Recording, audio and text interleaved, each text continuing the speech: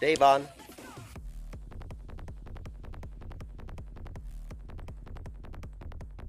React to some vids or some LSF drama?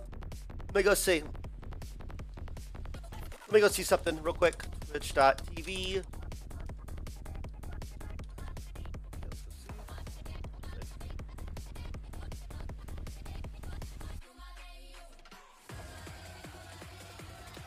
That explains it.